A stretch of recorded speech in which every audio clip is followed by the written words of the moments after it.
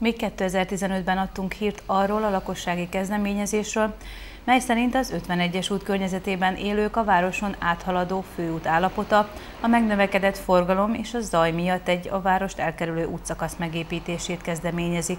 És sajnos az elmúlt időszak közlekedési balesetei is arról tanúskodnak, hogy gond van ezzel az úttal, a biztonságtechnikája és a minősége is hát elég sok kíván hagyott hagy maga után.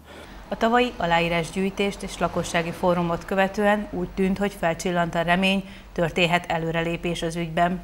Ezt alátámasztotta a Környezetvédelmi Hatóság közelmúltban történt zaj- és forgalomszámláló felmérése is. És erről tájékoztatott minket, valamint tájékoztatta a megyei közút fenntartó KFT-t. Na most a KFT most reagált erre, erre a levélre, a kormányhivatal felé, mert az a környezetvédelmi hatóság a kormányhivatal keretén belül, belül működik, és minket is tájékoztatott, hogy a közútkezelő mit írt nekik vissza.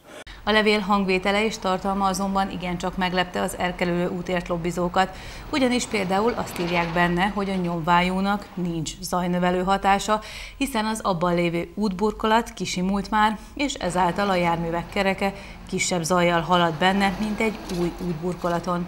A zajszint legjelentősebb túllépése pedig az eredmények szerint nem minősül jelentősnek. Ezen kívül a közútkezelő szakemberei megkérdőjelezik az ingatlanok elértéktelenedésének kérdését is, hiszen véleményük szerint a közutak melletti frekventált helyeken magasabbak az ingatlanárak. És a lakókat teszi majdnem ez a levél felelőssé, hogy oda építkeztek az út mellé. Spekulációs célból, és ezért van zaj az 51-es út mellett. Hát ugye azért van zaj, mert ugye az utat ki kellene javítani.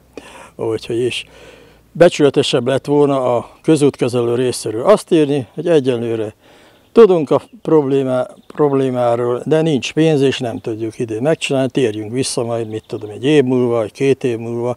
Éppen ezért az ügy támogatói úgy döntöttek, hogy nem hagyják szó nélkül ezt a választ, és a benne foglaltakról tájékoztatni fogják az országgyűlési és a városi önkormányzat képviselőjét is a szükséges lépések megtételének céljából.